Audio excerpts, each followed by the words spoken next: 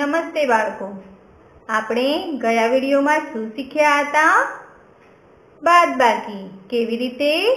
ચિત્રો ઉપરથી. આજે પણ આપણે થોડી વધારે ચિત્રો ઉપરથી બાદબાકી શીખીશું. અહીં સાના ચિત્રો આપેલા છે. જગ છે. સાના માટીના. તો અહીં પહેલામાં કેટલા જગ આપેલા છે માટીના? એક, બે, ત્રણ ચાર, પાંચ ને છ. તો નીચે કેટલા લખ્યા છે? છ લખ્યા છે. હવે એની બાજુમાં સાની નિશાની છે. બાદ બાકીની. હવે આ છ જગ હતા. એમાંથી કેટલા ફૂટી ગયા? એક, બે, ત્રણ ને ચાર. તો નીચે કેટલા લખ્યા છે? ચાર લખ્યા છે. હવે ચાર ફૂટી ગયા. તો કેટલા બાકી વધ્યા? એક અને બે. તો અહીંયા જવાબમાં કેટલા ચક દોરેલા છે? એક અને બે. જે બાકી વધ્યા એ દોરેલા છે. એટલે છ બાર ચાર બરાબર બે. હવે આપણે બીજો દાખલો જોઈએ. અહીં શું આપેલું છે? દેડકા આપેલા છે. પહેલા ચિત્રમાં કેટલા દેડકા છે? એક, બે, ત્રણ ચાર, પાંચ. તો અહીંયા કેટલા લખ્યા છે? પાંચ લખ્યા છે.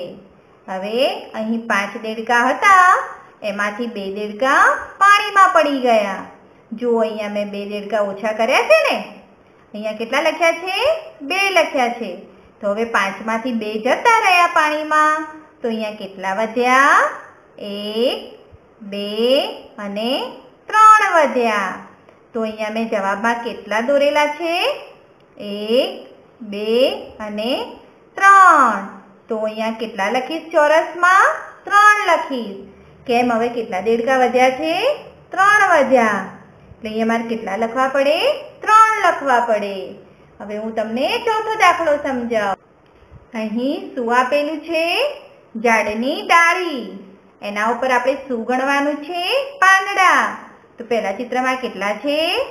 એક, બે, ત્રણ, ચાર, પાંચ, છ, સાત, આઠ ને નવ. તો અહીંયા કેટલા લખ્યા છે? નવ લખ્યા છે. હવે બીજા ચિત્રમાં નવમાંથી ચાર પાંદડા પડી ગયા. તો હવે કેટલા બાકી વધશે? એક, બે, ત્રણ, ચાર ને પાંચ. તો અહીંયા પાંચ પાંદડા આપેલા છે. એક, બે, ત્રણ, ચાર ને પાંચ. તો નવ, બાર, ચાર બરાબર કેટલા વધ્યા? પાંચ વધ્યા. તો હું અહીંયા કેટલા લખીશ? પાંચ. ખબર પડી? પાંચ કેવી રીતે આવ્યા? નવ પાંદડા હતા. એમાંથી ચાર પડી ગયા. એટલે પાંચ વધ્યા. હવે હું છેલ્લું સમજીએ. અહીં એક ટોપલીમાં કેટલી કેરી છે? એક, બે, ત્રણ, ચાર ને પાંચ. એમાંથી આ છોકરી કેટલી કેરી ખાઈ ગઈ? એક કેરી. તો ટોપલીમાં હવે કેટલી વધી છે? એક, બે, ત્રણ ને ચાર. એટલે પાંચ બાદ એક બરાબર અહીંયા કેટલા વધશે? ચાર વધશે. તો હું અહીંયા કેટલા લખીશ હવે? ચાર. તો પાંચમાંથી એક કેરી ગઈ, એટલે કેટલી વધી? ચાર વધી. હવે આપણે નવા પેજમાંથી. અહીં શું આપેલું છે? ગ્લાસ. કેટલા છે? એક, બે ને ત્રણ. તો અહીંયા નીચે ચોરસમાં કેટલા લખીશ? ત્રણ લખીશ. હવે બાજુમાં અહીંયા ત્રણ ગ્લાસ હતા એ તો ત્રણે ત્રણ શું થયું? ફૂટી ગયા. તો હવે અહીંયા હું શું લખીશ? ત્રણે ત્રણ ફૂટી ગયા એટલે આપણે કેટલા બાદ કરવાના? ત્રણે ત્રણ. તો ત્રણમાંથી ત્રણ જાય તો શું વધે? શૂન્ય. જો અહીંયા પણ એક પણ ચિત્ર આપેલું નથી, કેમ નથી આપેલું? ત્રણ ગ્લાસ હતા, ત્રણે ત્રણ ફૂટી ગયા, એટલે એક પણ વધ્યું નથી. તેથી ત્યાં શું આવશે? શૂન્ય. હવે આપણે એના પછીનો દાખલો જોઈએ. અહીં શું આપેલું છે? જમરૂક. પહેલા ચિત્રમાં કેટલા છે? એક, બે, ત્રણ, ચાર, પાંચ, છ ને સાત. તો અહીંયા કેટલા લખીશ? સાત. હવે એમાંથી મેં ચાર જમરૂક મમ્મીને આપી દીધા. જુઓ છે ને ચાર? એક, બે, ત્રણ ને ચાર. તો અહીંયા કેટલા જમરૂક બાદ કરીશ સાતમાંથી? ચાર. તો હવે મારી પાસે કેટલા વધ્યા? એક, બે ને ત્રણ. અહીં પણ ત્રણ વધ્યા છે ને? તો અહીંયા શું લખીશ? ત્રણ લખીશ. તો સાત બાર ચાર બરાબર ત્રણ. હવે આપણે એના પછીનો દાખલો જોઈએ. અહીં શું આપેલું છે? સફરજન. કેટલા છે? એક, બે, ત્રણ, ચાર, પાંચ ને છ. તો અહીંયા શું લખીશ? છ લખીશ. ને અહીંયા છ માંથી મેં ચાર સફરજન કોને આપી દીધા? મારા ભાઈને. તો હવે અહીંયા હું કેટલા બાદ કરીશ?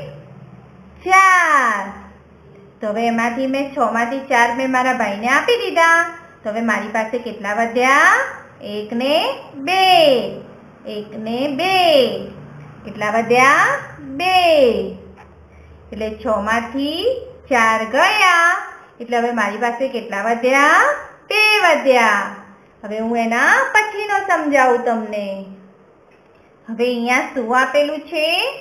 ફૂલનો છોડ આપેલો છે. એના ઉપર કેટલા ફૂલ છે? એક, બે, ત્રણ, ચાર, પાંચ, છ ને સાત. તો અહીંયા કેટલા લખીશ સાત. હવે એક માળી આ ફૂલ છોડ ઉપરથી બધા ફૂલ તોડી લે છે. સાતે સાત ફૂલ તોડી લે છે. જો અહીંયા સાતે સાત ફૂલ તોડીને લઈ જાય છે. તો હવે આ કુંડા ઉપર એકે ફૂલ વધ્યું છે? નથી વધ્યું. તો અહીંયા હું શું લખીશ જવાબમાં? શૂન્ય. અહીંયા પહેલા સાતે સાત ફૂલ આપી દીધા. તો હવે સાતમાંથી સાત જાય. તો અહીંયા શું વધે છે? શૂન્ય ફૂલ વધે છે. અહીંયા એક પણ ફૂલ દોરેલું છે. નથી દોરેલું. તેથી હવે એક પણ ફૂલ વધશે નહીં. હવે આપણે, તમને ખબર પડી? હવે આપણે આગળ જોઈશું. ચલો મારી સાથે પાનવ પાછળ કરો. હવે આપણે આગળ બાદ બાકી કરીએ. અહીં સાના ચિત્રો આપેલા છે ગાયના. પહેલા બધી